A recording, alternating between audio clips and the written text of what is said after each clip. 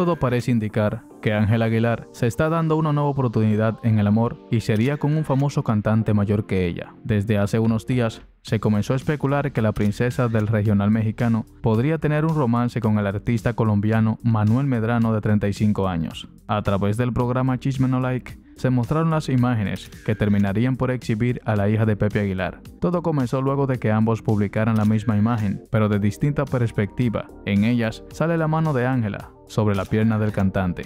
En este hotel, donde ella fue a sacarse fotos, él estaba ahí, le mete la mano en la pierna. Ella postea esa foto en sus propias redes, pero él la pone en un post donde muestra su miembro masculino y ella le pone like mencionó Javier Seriani. Cabe señalar que en la imagen que subió la joven no se logra distinguir a la persona cuya pierna está tocando. Fue la publicación de Manuel Medrano la que acabaría por eliminar la duda. Seriani aseguró que, para evitar otra polémica, la hija menor de Pepe Aguilar habría ocultado la imagen. Además, destacó que tanto Ángel Aguilar como Manuel Medrano pusieron la fotografía en medio de varias fotos, para que no fuera fácil encontrarla.